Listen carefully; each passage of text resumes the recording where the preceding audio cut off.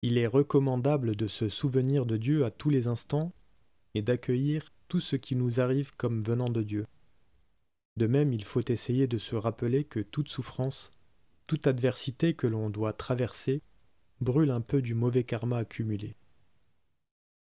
Si le japa, l'invocation du nom divin, a été pratiqué constamment, il portera obligatoirement des fruits un jour ou l'autre.